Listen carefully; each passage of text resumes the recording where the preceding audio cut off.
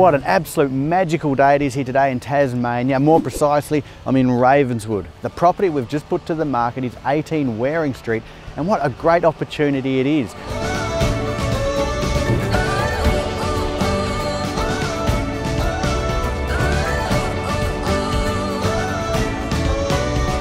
Now what we've got is a three bedroom brick home, all of generous size the bedrooms. Kitchen has been updated and also has a reverse cycle inverter. Keep you cool in the summertime, warm in winter.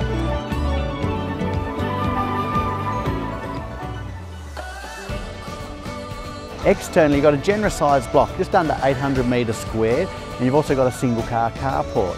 You're not far from the IGA and everything else that Ravenswood has on offer.